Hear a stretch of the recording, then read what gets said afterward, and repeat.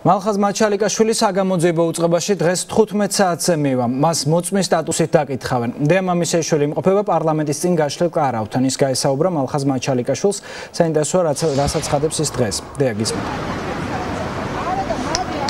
ალექსანდრო მალხაზ მაჩალიკაშვილი ახლა პარლამენტის შენობის მიმდებარე ტერიტორიაზე კარავში იმყოფება მან ცოტა ხნის წინ გვესაუბრა მედიის წარმომადგენლებს და განმარტა რომ ის 2 საათში სახელმწიფო უსაფრთხოების სამსახურში მივიდა და სამართალდამცველების ყველა კითხვას უპასუხებს. მალხაზ მაჩალიკაშვილი ამბობს რომ მას უწყების ყველა კითხვაზე აქვს პასუხი და ამ ინფორმაციას მიაწვდის სახელმწიფო უსაფრთხოების სამსახურსაც თუმცა თემირლან მაჩალიკაშვილის მამა აცხადებს რომ მას თავადაც ბევრი კითხვა აქვს სამართალდამცველებთან აღნიშნულ პროცესებთან დაკავშირებით ასევე თემირლან მაჩალიკაშვილის საქმეზე. ჩვენ დღეს დავინტერესდით რა მოლოდინი აქვს მალხაზ მაჩალიკაშვილს ის ელოდება თუ არა რომ შესაძლოა აღნიშნული გამოკითხვა დასრულდეს მისი დაკავებით, რაზეც მალხაზ მაჩალიკაშვილი ამბობს რომ ამ დროისთვის უწყებას არ აქვს შესაბამისი მტკიცებულება იმისთვის რომ აღნიშნული ბრალი დამტკიცდეს ვინაიდან მას არაფერი ჩაუდენია, თუმცა რა მოხდება იმ შემთხვევაში თუ მალხაზ მაჩალიკაშვილი დღეს ვერ დატოვებს სახელმწიფო უსაფრთხოების სამსახურს და მას დააკავებენ ამ საკითხზე.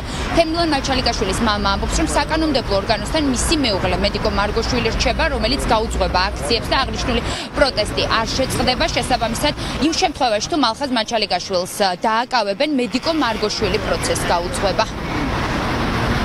თუ სადმე იყო მცდელობა თუ სადმე დავაშ დავაშავე მაშინ დასასჯელი ვარ არავით არის მონოდილი არ მაქვს მე რომ დამაკავო. მთელი ხელისუფლება არის ჩემს წინაშე დამნაშავე.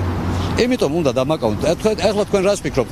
ერთ წელიწად წელიწად ნახევარია ესენი მე მებრძვია. თუ დამაკავეს აგერ არის მეუღლე ჩემი მოსული აქ პირდაპირ შემიძლია რო თქვა პირდაპირ რამოდენიმე ადამიანი ჩამოუთვალო.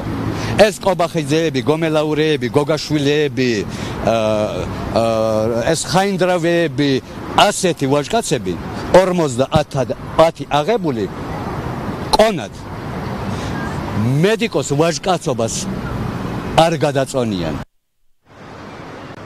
რა მოტივაცია აქვს სახელმწიფო უსაფრთხოების სამსახურს და ხელისუფლებას ამ კითხვას საპარლამენტო უმცირესობის წარმომადგენლები სვამენ ოპოზიცია საკმაოდ ფრთხილობს აღნიშნულ თემაზე. კომენტარისას თუმცა განმარტავენ რომ სახელმწიფო უსაფრთხოების სამსახურს აღნიშნული ჩანაწერის მოპოვების შემდეგ ფარული მიყურადება უნდა გაეგრძელებინა იმისთვის რომ მოპოვებული ყოფილიყო დამატებითი მტკიცებულებები. რაც შეეხება საპარლამენტო უმრავლესობის წარმომადგენლებს მათ სჯერათ რომ სახელმწიფო უსაფრთხოების სამსახური ყველა კითხვას პასუხს გასცემს და ბუნდოვანი დეტალ დეტალები გასაჯარავდება. როდესაც ნებისმიერ დროს ასეთი მიყურადების განსაჯაროება ხდება, გასაჯაროება ხდება, ამის ლოგიკური ახსნა ერთადერთი შეიძლება იყოს ის, რომ აუცილებელია საზოგადოების ინფორმირება, იმიტომ რომ გარდაუვალია რაღაც ნაბიჯების გადადგომა. სხვა შემთხვევაში ეს არის აბსოლუტურად აუხსნელი. სხვა შემთხვევაში როდესაც ასეთი მტკიცებულება გაქვს, თუ ეს მტკიცებულება არის საფუძვლიანი, მაშინ გრძელდება თვალთვალი და გრძელდება გამოძიება ფარულად, ხო?